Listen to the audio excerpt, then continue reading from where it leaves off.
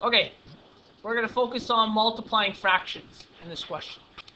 I've been given three terms. We have 5 times, or 5 divided by 3, or 5 over 3 as a fraction, times 3 times negative 8.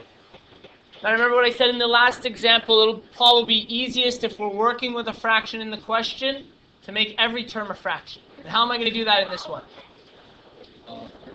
Yep, so we're going to put this as 3 over 1. And then this negative 8, how do I make that a fraction? Negative 8 over 1. Now, this negative 8 over 1, because it's a fraction, do I put the negative on top? Do I put them on the bottom? Do I put it in the middle? It actually doesn't matter, okay? As long as you only put one negative. And the reason for that So we were talking about that negative on top, on the bottom, doesn't make a difference. Now, this is where we're going to refer to our multiplying and dividing of positive and negative terms again. So a positive divided by a positive, it's the same rules as multiplying. We'll still have a positive answer. A negative divided by a negative term will still give us a what?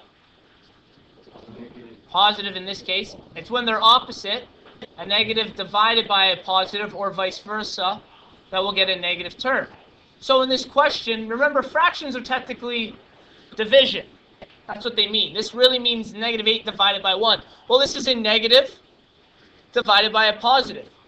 So in other words, the entire answer is a negative answer. So it doesn't matter if you put the negative on the top or the bottom. Just remember that this term is negative in the end.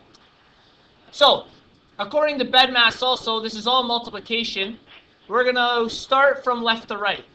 Now, there's technically a rule in multiplication where we can start wherever we like, but to make things simpler for ourselves, we're just going to always go the way that we normally read, from left to right, and we'll deal with them in pairings.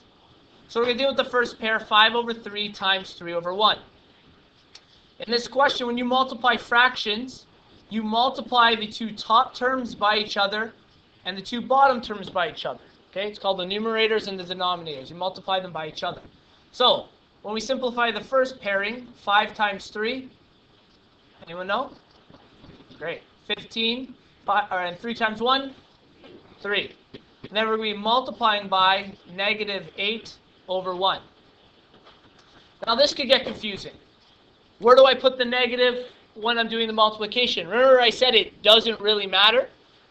I want you to think of this. This is a term a positive term, this fraction here, times a negative term. So our answer in the end is going to be what? We know it's going to be a negative. So sometimes it might be easier to just do that part first.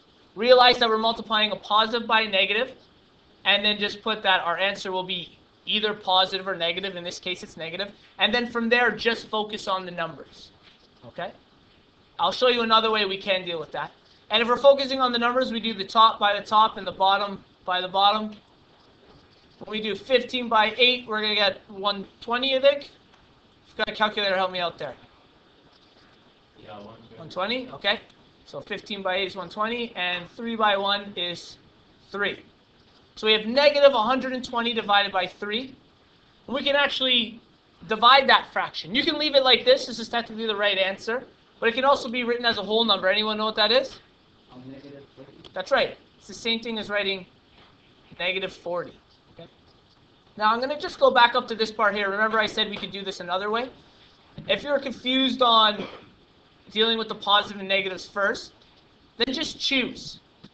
Maybe I'll put the negative on the bottom, let's say. Negative 1 by 8.